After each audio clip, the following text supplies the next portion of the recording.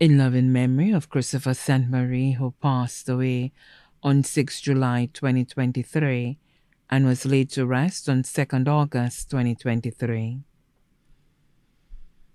A year has passed since you've been gone, and yet still your memories linger.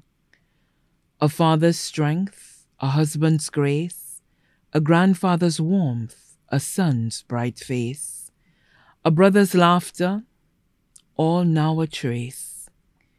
Since you've been gone, life feels so hollow. Days drift by in a sorrowful flow.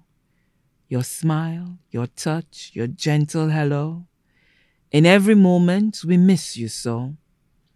Your laughter once filled rooms with cheer, a melody sweet, so pure and clear, now echoes faint through each passing day. In our hearts you'll remain near. We gather today in silent reflection. Though you've gone, your spirit stays, guiding us through our darkest days. In our dreams, in the sun's warm rays, your love endures in countless ways.